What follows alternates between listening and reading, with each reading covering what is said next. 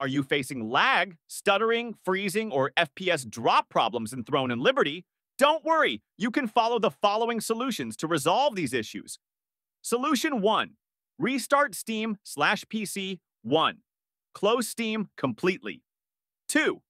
Restart your PC to refresh system processes. 3. Open Steam again and try launching the game.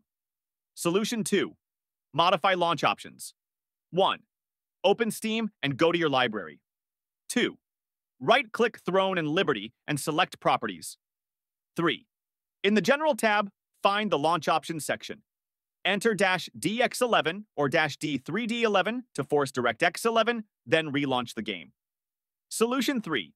Verify game files 1. In Steam, right-click Throne and Liberty and choose Properties. 2. Click the Local Files tab. 3. Select Verify Integrity of Game Files to repair any missing or corrupt files.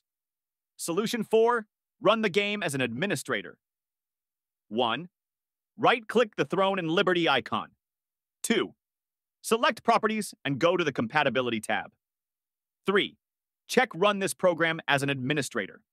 Click Apply and relaunch the game. Solution 5. Try Compatibility Mode. 1.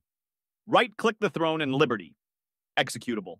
2. Go to Properties and select the Compatibility tab.